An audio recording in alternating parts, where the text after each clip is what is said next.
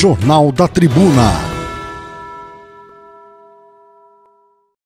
Vamos com uma notícia boa, daquelas de aquecer o coração.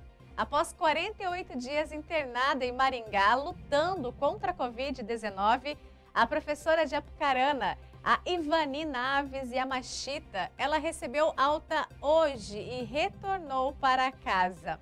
Amigos e familiares prepararam uma surpresa para a professora que foi recebida com muito carinho por todos. Você acompanha aí a chegada da Ivani, aquele buzinaço, as pessoas prepararam ali faixas com frases, é, levaram flores ali no carro. Olha que bonitinho, vários corações ali. Realmente a professora ela é muito querida aqui em Apucarana, dá aula ali no Cerávulo, deu aula em outros colégios de família tradicional e ela estava internada há quase 50 dias.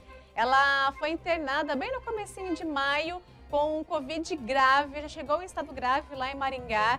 No dia 21 de maio, ela foi entubada e ela ficou entubada, gente, até o dia 17. Até o último dia 17 foi quase um mês entubada e ela recebeu alta da UTI no dia 17.